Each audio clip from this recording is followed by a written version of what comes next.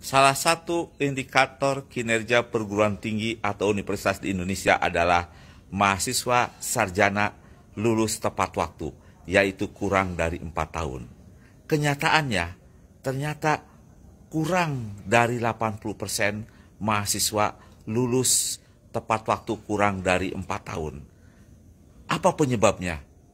Ternyata mahasiswa lambat dalam menulis skripsi tidak semua mahasiswa memiliki kecepatan yang sama dalam menulis skripsi. Akibatnya, mahasiswa lambat lulus dari perguruan tinggi. Demikian pula, dosen harus mencurahkan waktu yang lebih banyak kepada mahasiswanya agar mahasiswa lulus tepat waktu.